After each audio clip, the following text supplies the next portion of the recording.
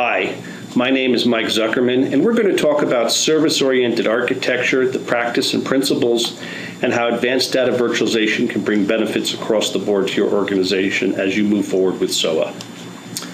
Queplix is a data integration and data management company, and core and central to our theme is the fact that standards like SOA are important for you to reduce your costs and to drive benefits across your organization.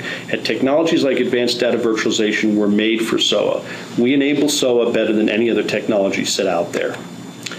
Service oriented architecture is about delivering reusable software and capabilities as services, fundamentally, a set of components that can be used and whose interfaces and functionality are published and discoverable. Um, we talk about these basic principles, but there's there's conflict with every vendor implementation. Every vendor has defined a set of tools with subtle barriers in place for the other vendors that limit interoperability and create more impediments to success. Impediments are defined as extra work you have to do and things that make it more difficult.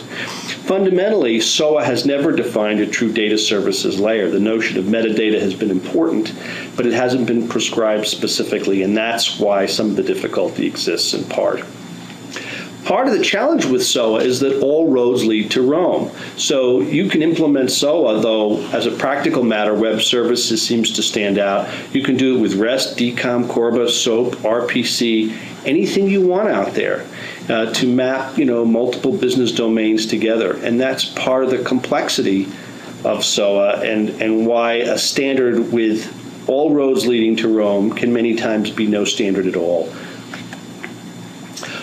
Part of the challenge is that SOA vendor tools have become very tedious and complex. When you get to things like data integration, which is the core and fundamental, uh, one of the top benefits of implementing SOA, um, there's a lot of discussion about metadata, but you really fall short.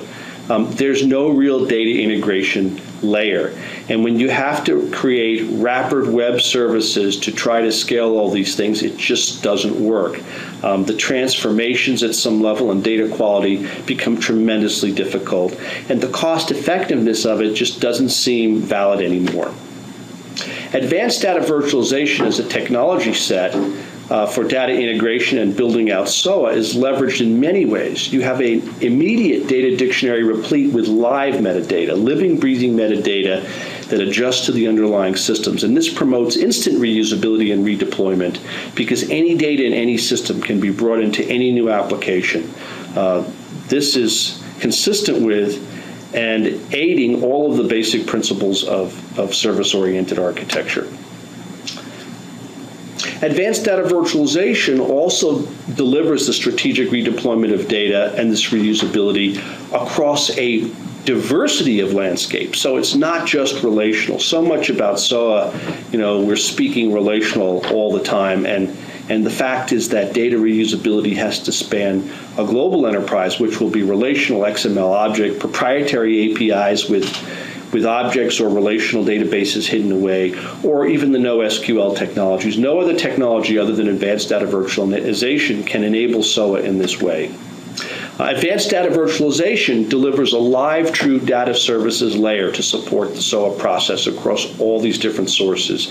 And you can use a cloud model or an on-premise model. Advanced data virtualization, you know, gives you a virtual view of data. So you can see the recombinant variances of the data without doing the federation and without moving it. This is in sharp contrast to the old EII technologies or to the basic data virtualization that's been out there for many years.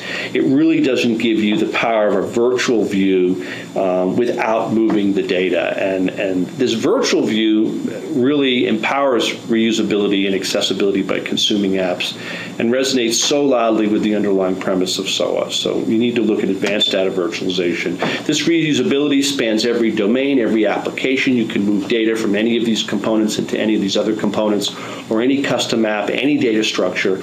And that ultimately is the goal of SOA. So in the final analysis, advanced data virtualization will empower your efforts to build a true data services layer and get the benefits of SOA going for your organization better than any other approach and will give you a stronger return on investment better than any other technology you could use to empower SOA. Customers like you can deliver business benefits at many times the speed with greatly reduced cost and a significantly lower risk.